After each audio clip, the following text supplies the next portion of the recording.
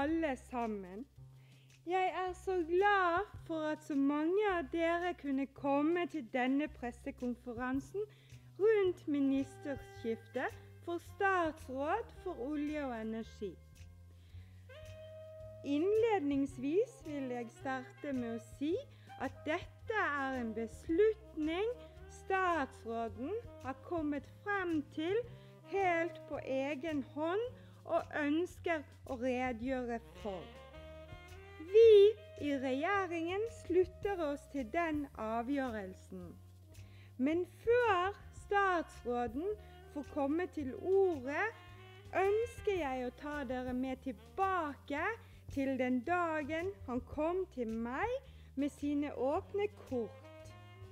Og akkurat den dagen så hadde det seg slik at jeg var ute og gikk en tur på stien og søkte skogens ro.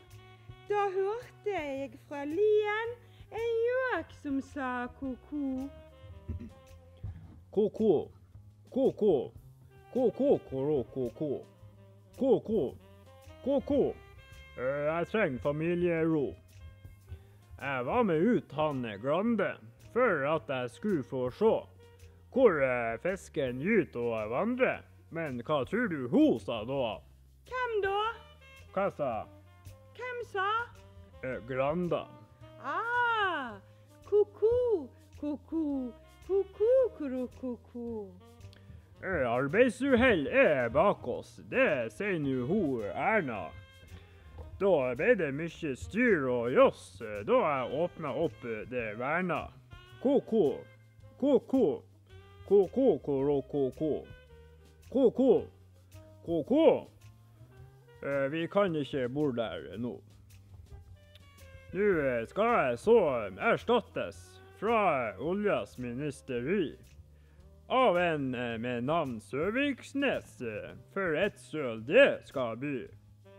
Ko-ko, ko-ko, ko-ko-ko-ro-ko-ko. Ko-ko, ko-ko.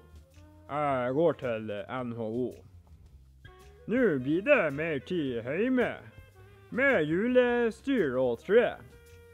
Da får vi det på det rene hvem hovedsjefen er. Ko-ko. Ko-ko.